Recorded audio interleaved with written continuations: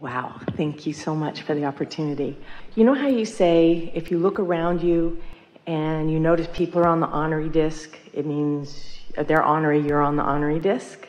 I have four members of my family who are struggling with moderate to severe mental health issues. Do I need to worry about anything?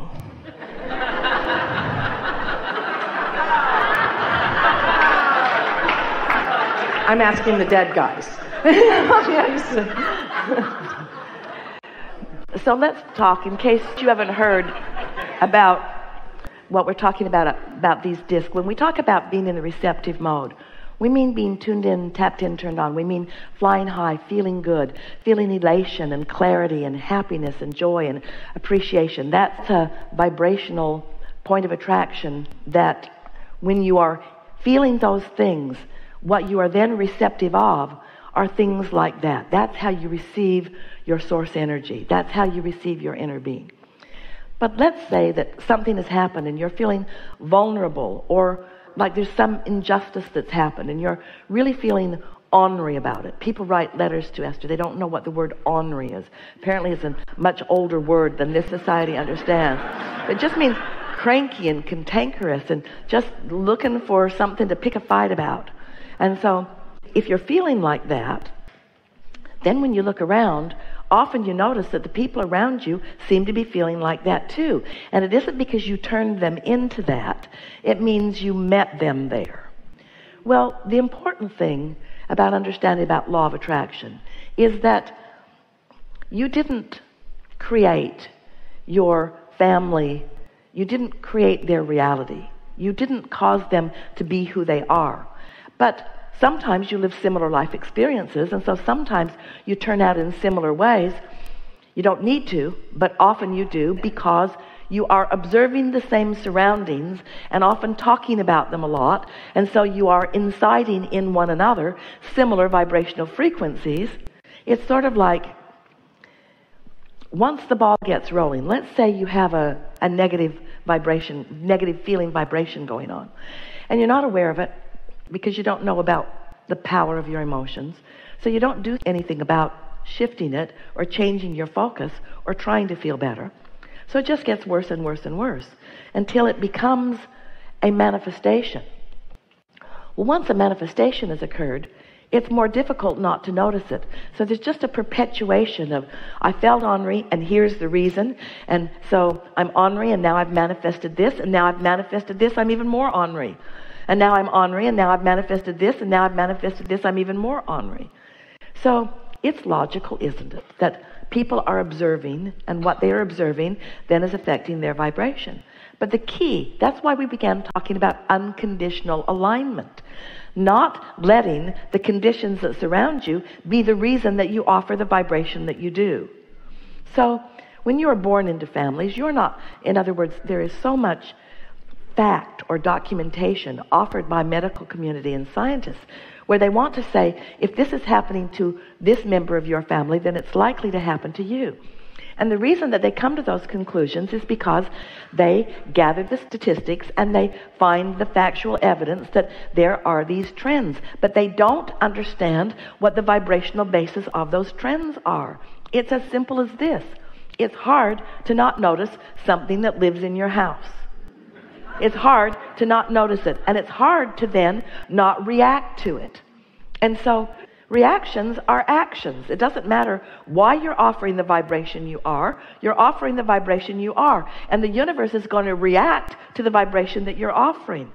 So it sort of looks like this. It feels a little futile and scary to some people who are only listening this far into the conversation because it feels like so someone behaves in a certain way and you react to it. And because you've reacted to it, now you're having the same experience.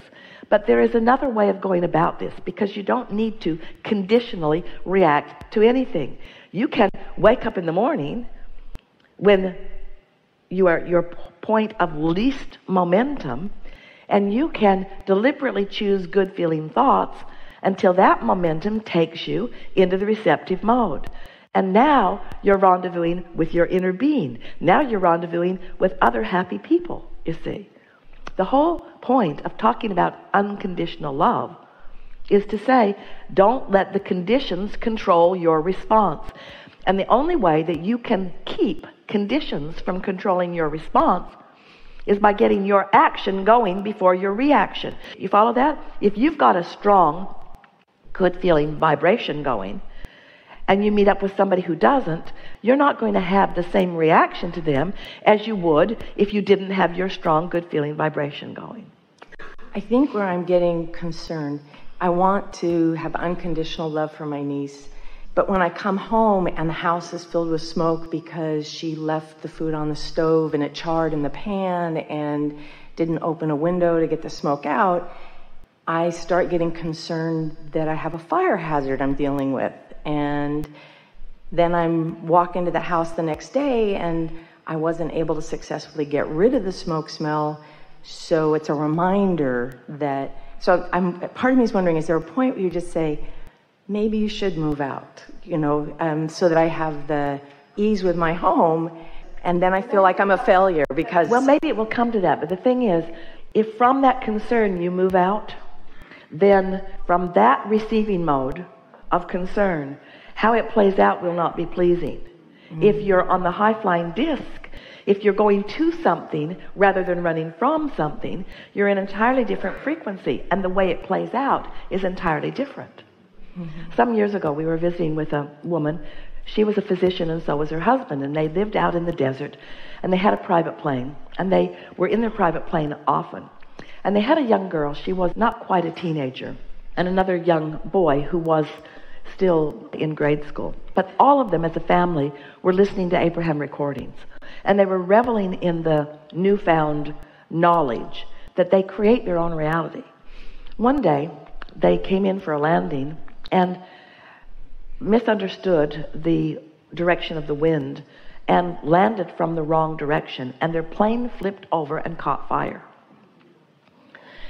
They weren't hurt badly, some minor burns, they got out of the wreckage, and now this mother is back in the hot seat wanting to find words from us that she could soothe her children because they're upset. If we create our own reality, how did that happen? And we said to her, Hardly anybody walks away from plane crashes, but you did. From your high flying disc, you had an experience, but your reaction to it is what matters now. You see what we're getting at? Don't argue for your limitations and don't beat up on yourself for having negative emotion. No one wants their house to be full of smoke. But don't get carried away with it either. Don't react to it in a way that makes it worse. Okay. And here's the bottom line in all of this. And this is a wonderful leading edge discussion.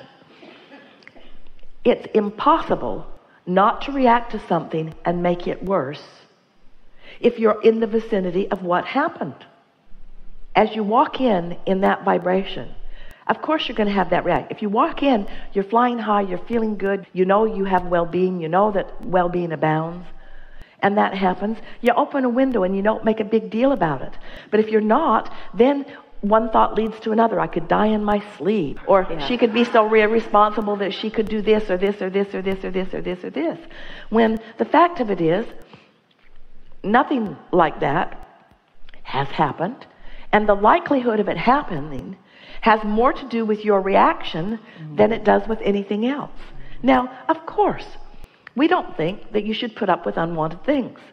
We don't think that if there's a lot of things that are going on that are unpleasant to you, we would move out.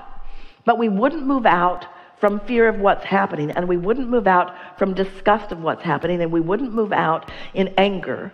We would get into our high flying disc and let our inner being call us to what's next. It's my home. So the question is if you say, you'd be better off finding another place. And I agree, I, I appreciate totally. But you see, you can't find that high flying disc no. where you encourage her into something that is going to be, in the long run, more satisfying to her because you've got this attitude that I'm throwing her out. Yeah. You can't have this attitude that I'm throwing her out at the same time that you're on your high flying disc. Yeah. So it takes a little work. We know this isn't the easiest thing to do. We're talking about what you're reacting to. Reactions are the most important conversation. Law of attraction, the words or the concept of law of attraction and the concept of reaction are the same, aren't they? Mm-hmm.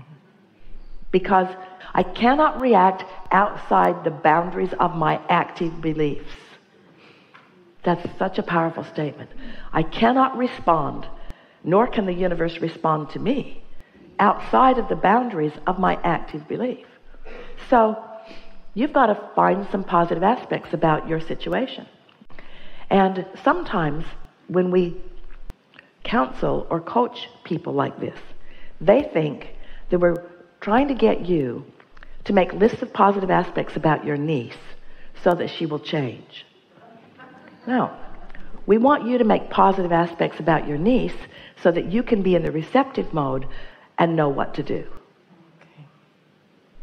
The likelihood of her changing isn't, but there are so many aspects about her that are positive. So, if everything that we talk about, no matter what it is, if the answer is always get in the receptive mode, and if you notice, that is always the answer get in the receptive mode, that's always the answer get in the receptive mode, then should there be a question about, well, should I move out or not? No, get in the receptive mode. Well, but Abraham, should I move out or should I ask her to move out?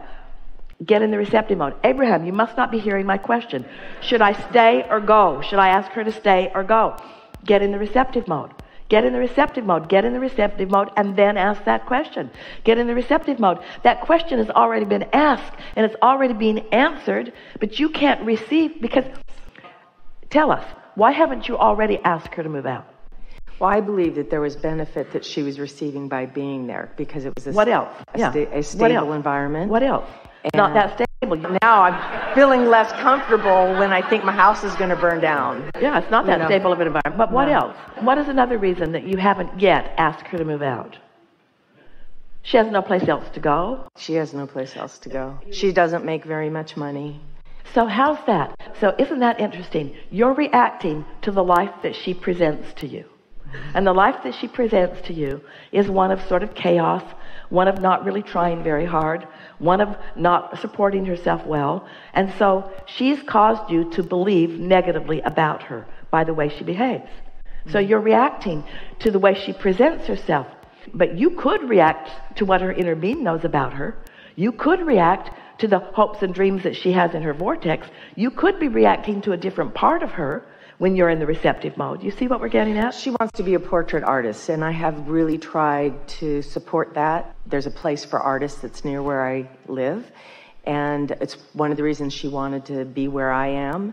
And there are times. But you see, you can find all kinds of justifications for things to go the way they go in order to support your beliefs.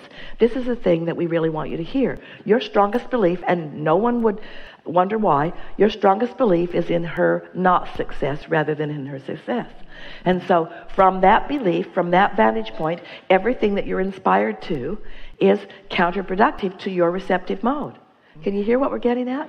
From what you're observing and your reaction to what you're observing, it puts you in a chronic vibration that doesn't allow anything other than things like that to be the experience.